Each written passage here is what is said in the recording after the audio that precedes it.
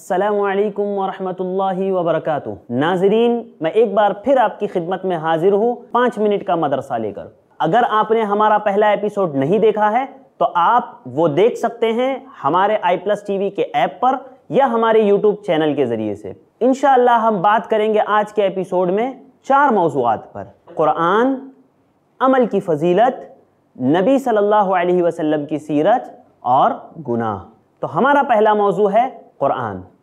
اللہ رب العزت کی جو کتاب میرے اور آپ کے درمیان قرآنی شکل میں موجود ہے، اس میں اس پانی سے زیادہ طاقت ہے جو ایک مردہ زمین کو زندہ کرتی ہے۔ کیونکہ آپ کو پتا ہے، قرآن مردہ ضمیر کو زندہ کرتا ہے۔ جن لوگوں نے قرآن کو پڑھا، اس پر عمل کیا، اللہ تعالیٰ نے ان کو دنیا اور آخرت میں بلندی عطا کی۔ اور جن لوگوں نے اس کو چھوڑ دیا، اللہ تعالیٰ نے ان کو ذلیل کر دیا۔ ان تمام باتوں کو جاننے کے باوجود آج مسلمان قرآن کو چھوڑے ہوئے ہیں۔ جبکہ آپ کو پتا ہے کہ کل قیامت کے دن جب ہم اللہ کے سامنے حاضر ہوں گے اور ہر کوئی ہم سے دور بھاگے گا، تب یہی قرآن ہوگا جو اللہ کے پاس میری اور آپ کی سفارش کرے گا۔ نبی کریم صلی اللہ علیہ وسلم نے فرمایا، اقرأ القرآن فَإِنَّهُ يَأْتِي يَوْمَ الْقِيَامَةِ شَفِعًا لِأَصْحَابِهِ کہ اس قرآن کو پڑھا کرو کیونکہ یہ قرآن کل قیامت کے دن اللہ رب العالمین کے پاس تمہاری سفارش کرے گا۔ یاد رکھیے، قرآن کو سمجھ کر کے پڑھنا ضروری ہے، چاہے جس بھی لینگویج میں آپ پڑھ سکتے ہو۔ ناظرین، ہمارا آج کا دوسرا موضوع ہے عمل کی فضیلت۔ یاد رکھیے، عمل انسانی زندگی میں روح کی حیثیت رکھتی ہے۔ اللہ رب العالمین نے قرآن مجید میں ایمان کے بعد بندوں سے جس چیز کا سب سے زیادہ مطالبہ کیا وہ عمل ہے۔ اللہ تعالیٰ نے فرمایا، ان الذین آمنوا وعملوا الصالحات كانت لهم جنات الفردوس نزلا کہ وہ لوگ جو ایمان لائے اور نیک عمل کیے، ایسے لوگوں کے لیے جنت کے باغات ہے۔ ناظرین، اللہ رب العالمین نے عمل کرنے والوں کو عقل مند اور عمل نہ کرنے والوں کو بیوقوف کہا ہے۔ یاد رکھیے، عمل جس چیز کی ہم دوسروں کو دعوت دیتے ہیں، اس پر خود کا عمل کرنا بہت زیادہ ضروری ہے۔ ناظرین، ہمارے آج کے اس ایپیسوڈ کا تیسرا موضوع ہے گناہ۔ انسان بہت پریشان ہوتے ہیں۔ وہ مختلف سوالات کرتے ہیں کہ گناہ کسے کہتے ہیں؟ کیا کیا چیز کرنی چاہیے؟ کیا کیا چیز نہیں کرنی چاہیے؟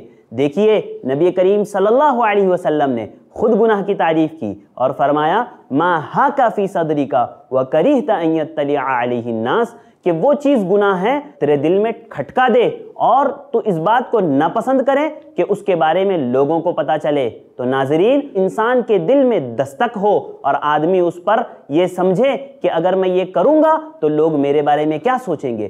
کیا سمجھیں گے؟ یہ ساری باتیں گناہ میں داخل ہے کہ یاد رکھیے، گناہ وہ ہے جس کو قرآن اور حدیث نے غلط کہا ہو، جس سے روکا ہو، جس سے منع کیا ہو۔ ناظرین، گناہ سے بچنا ضروری ہے کیونکہ یہ انسان کے دل کو کالا کر دیتی ہے۔ اگر انسان توبہ کر لیتا ہے تو وہ کالا رنگ مٹ جاتا ہے، اور اگر وہ توبہ نہیں کرتا تو وہ کالا رنگ بڑھتا چلا جاتا ہے اور اس کا دل پورا کا پورا کالا ہو جاتا ہے۔ اسی لیے گناہوں سے بچنا ضروری ہے۔ آج کے اس ایپیسوڈ کا ہمارا چوتھا موضوع ہے اسماء حسنہ۔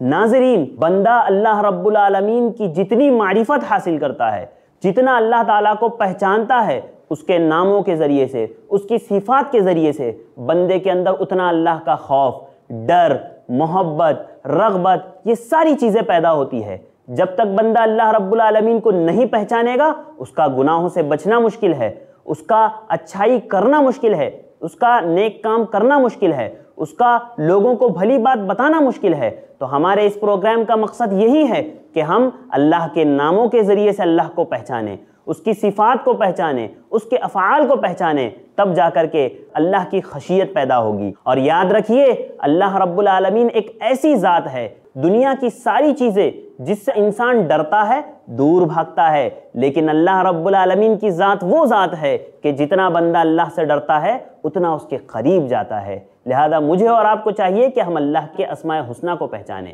ناظرین، چند باتیں جو میں نے بہت ہی مختصر سے وقت میں آپ کے سامنے رکھی ہے آپ سے ریکویسٹ ہے کہ آپ اس کو لائک کریں اور اس کو شیئر کریں اور اس میں کمنٹ بھی کریں تاکہ ہمیں پتا چلے کہ آپ کو اس پروگرام سے کتنا فائدہ ہو رہا ہے۔ اللہ رب العالمین سے دعا ہے کہ اللہ رب العالمین ہمیں کہی ہوئی باتوں پر عمل کرنے کی توفیق دے۔ السلام علیکم ورحمۃ اللہ وبرکاتہ۔